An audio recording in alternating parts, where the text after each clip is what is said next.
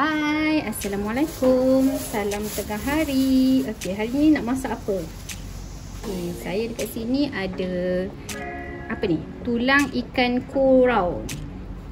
Okey, hari ni saya akan masak tulang ikan kurau ni bersama dengan belimbing bulu. Okey, kita masak lemak. Okey, bahan-bahan dia senang je. Nanti kita ada cili api, kunyit, santan dan juga sedikit bawang. Bawang putih, bawang merah separuh. Kalau tak nak tak bawang pun tak apa, terpulanglah pada masing-masing. Okey, first cara dia, kita rendam dulu tulang ni. Sebab kita tak nak dia terlalu masin. Jadi, kita rendam dulu.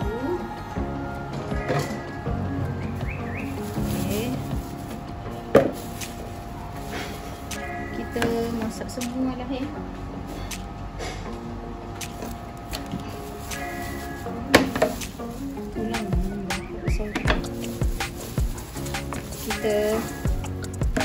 Rendamkan dia sekejap untuk buang dia masin dia punya rasa masin tapi kalau yang tak nak rendam pun tak apa eh. Ni optional. Ok saya perahkan sebiji limau. Ni jangan basuh beria eh tulang ni dah rendam sekejap je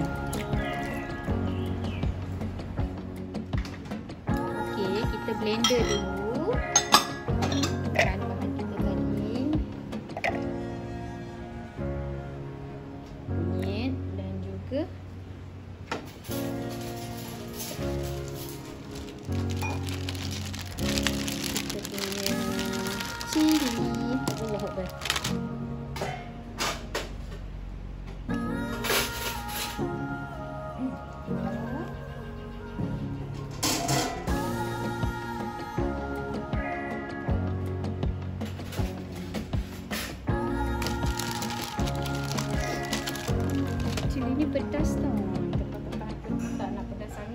pun sikit je.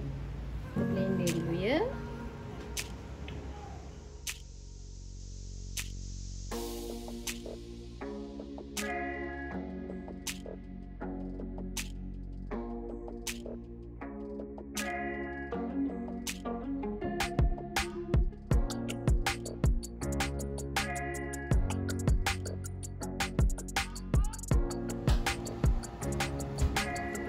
bahan yang kita kisar tadi dah siap.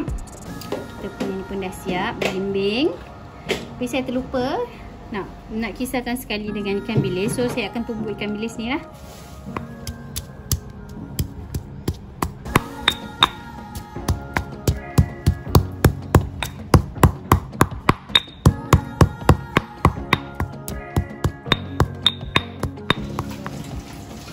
Kita masuk kat dalam kita punya rencah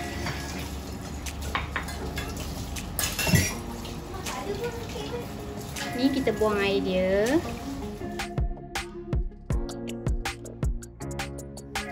Masukkan yang kita kisar tadi, bahan yang kita kisar tadi. Lepas tu kita masukkan ikan. Ikan ni saya dah potong-potong kecil-kecil sikit. Ha.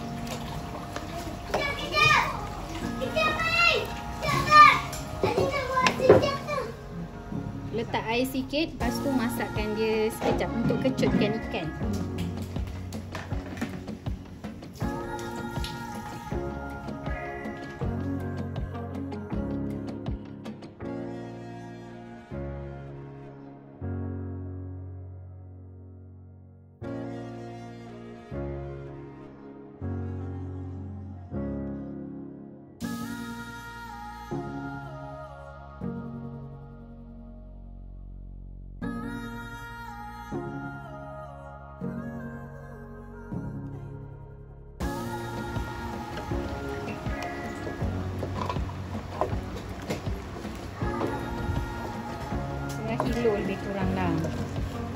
kilo Sebelas ringgit Mahal juga ikan ni setengah kilo sebelas ringgit hmm. Setengah kilo tu Tulang dia banyak ni ha. Tapi tulang ni lah yang sedap ni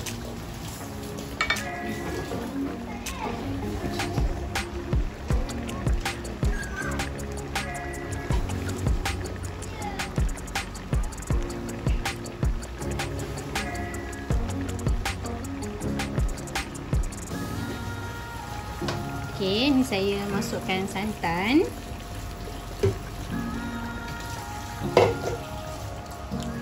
Kita pakai santan kotak je ya hari ni. Bukan hari ni, selalunya.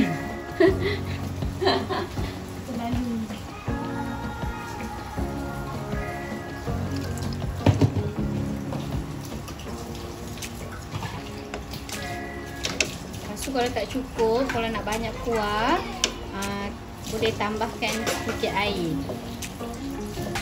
Ikutlah kepekatan mana nak pekat ke.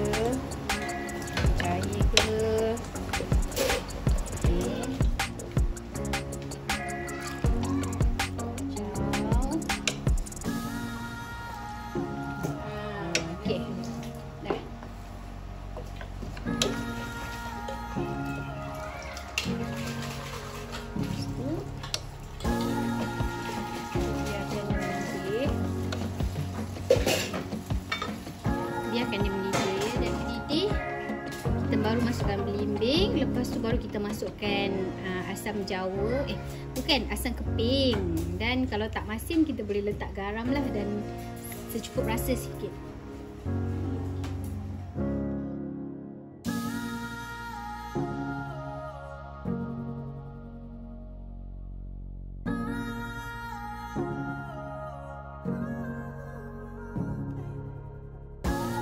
Okey, kita kacau. Ada yang mendidih tu kacau. Kalau santan kotak ni kita tak risau dia ketul-ketul. Kalau santan original tu kena sentiasa kacau. Kita punya kuah ni dah mendidih kan? Jadi kita masukkan kita punya belimbing.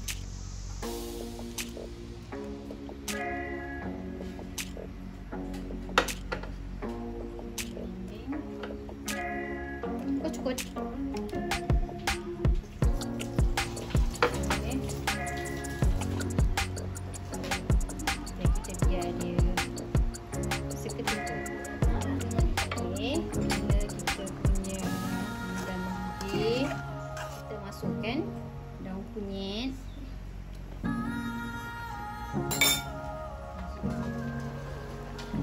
saya masukkan asam keping ni sekeping.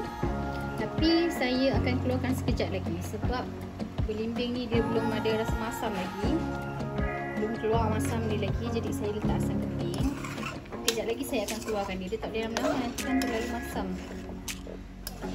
Okey, kita dah boleh tutup api. Hmm, rasa macam belimbing ni belum lembik lagi kan? Tak apa, dia panas dia akan lama-lama belimbing tu akan lembik